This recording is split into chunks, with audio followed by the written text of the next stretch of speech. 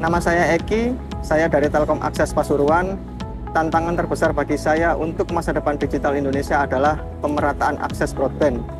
Karena secara geografis Indonesia sendiri sangatlah luas, sehingga kami harus siap untuk melakukan pemerataan jaringan broadband sampai ke desa-desa pelosok yang masih sulit terjangkau oleh koneksi internet.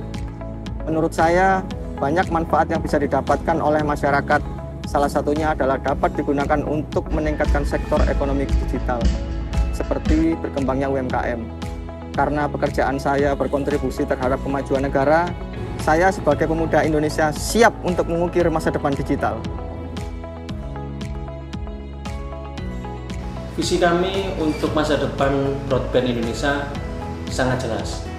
Kami berkomitmen untuk menjadi pemimpin dalam penyediaan konektivitas broadband di seluruh negeri.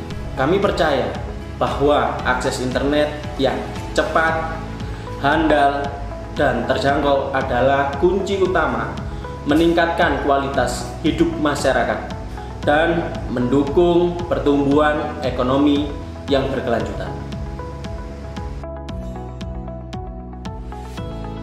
Pesan kami untuk para warrior akses dan pemuda Indonesia di luar sana adalah agar terus bersemangat dan berpikir besar tentang potensi broadband di era transformasi digital kali ini dan kami sangat mengundang para warrior dan pemuda akses di luar sana untuk terus berkontribusi dalam membangun masa depan yang lebih cerah ini.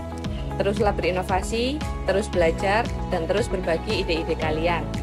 Kami yakin dengan bersama-sama kita mencapai visi misi broadband yang lebih baik dan untuk kemajuan Indonesia yang lebih baik.